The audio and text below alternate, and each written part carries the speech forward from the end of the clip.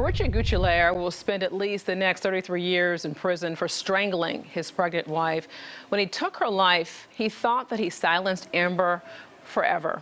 But he was wrong. Reporter Susan Samples tonight explains how a secret journal helped expose her husband's murderous rage.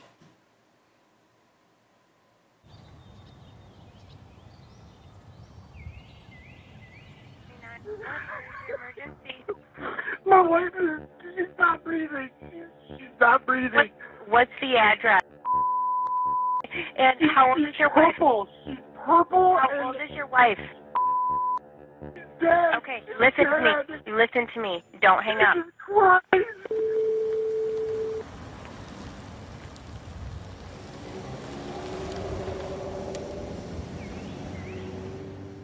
Richard Guichelaar would later tell police he'd gone to bed that night on a downstairs couch because the couple's bedroom was too hot.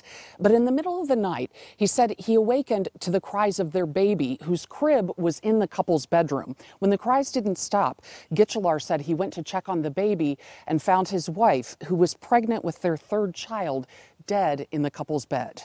We to help you now, okay? Need to stay on the line. I want you to loosen anything that's around her neck and then tell me if she's breathing. I mean, she's not breathing. She's purple. Her eyes are bald. Dead. Okay, do you think she's beyond help? I do. I do. God.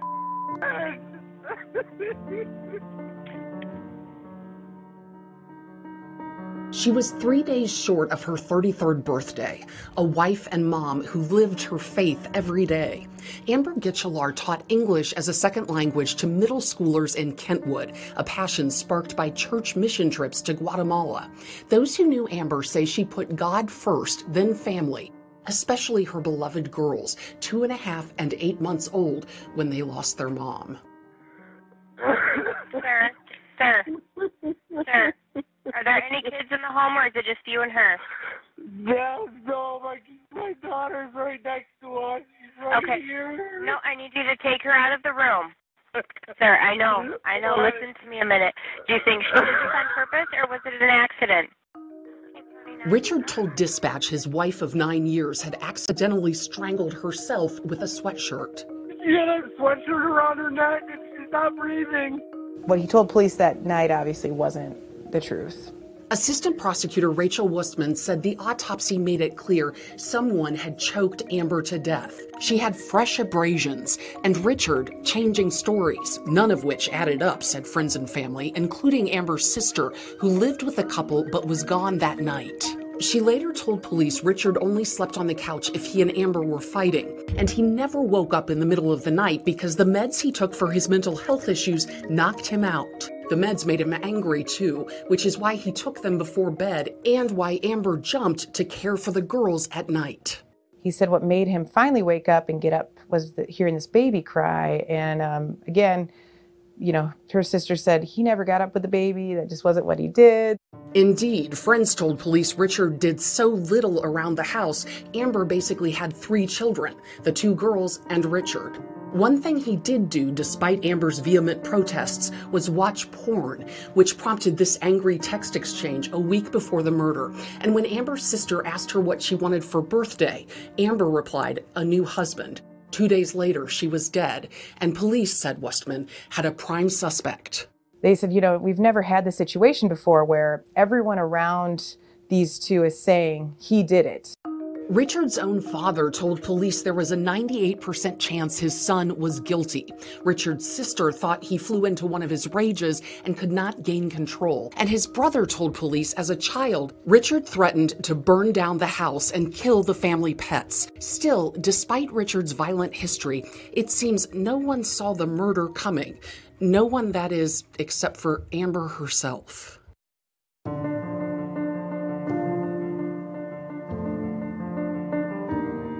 What they ended up finding, though, Amber had written down a couple of things in a notebook pad. Inside the console of Amber's minivan, six loose leaf papers turned smoking gun. The woman Richard thought he had silenced would in the end be a star witness in her own murder. Amber wrote, I have literally thought to myself, am I safe asleep next to him? Would he ever kill me? She wrote that Richard had beaten her, kicked and punched her, threw a mug, smashed her cell phones, punched a glass shower door, and smashed a counter with a hammer. It's clear, though, this was a secret diary. What happens behind closed doors, you know, people don't necessarily see, and then when they're both able to cover it up pretty well, you don't really see how bad it's getting. Amber was very strong, very independent. She was very confident. She was also exceptionally close to her mom, Amy DeGraff, who never saw any sign of violence nor the danger her daughter faced. For some reason, she chose to stay in a situation that obviously cost her her, her life. And that is the mystery I think Amber did a really good job of covering for him. And probably because the kind of person she was, um, you know, she she was just so loving and caring and I think a fixer and she always wanted him to be better and and covered for him.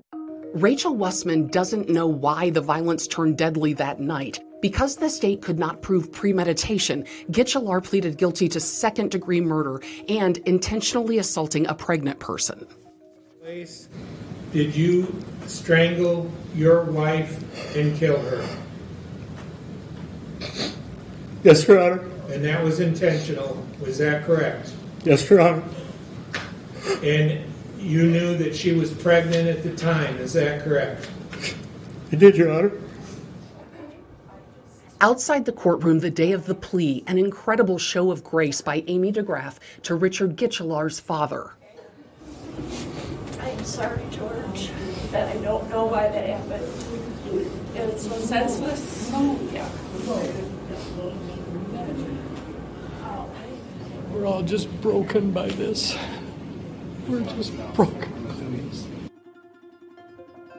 But the DeGraffs are determined to honor Amber and God by helping others. That is our biggest hope by speaking out about this and by sharing Amber's story.